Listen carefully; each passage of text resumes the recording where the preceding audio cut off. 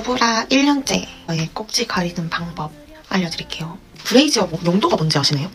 운동을 하거나 이렇게 활동을 할 때 가슴이 흔들릴 때 불편하지 않으려고 브래지어를 착용하는 거라고 하더라고요. 가슴 모양이 예쁘게 보이려고.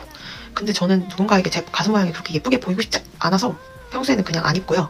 이런 옷을 입을 때는 패치가 있어요. nipple 패치. 이런 nipple 패치를 이렇게 붙여주고요. 이런 캡 들어간 나시를 입어주고 옷을 착용한다거나 바디건 같은 걸 입는다거나 그렇게 합니다.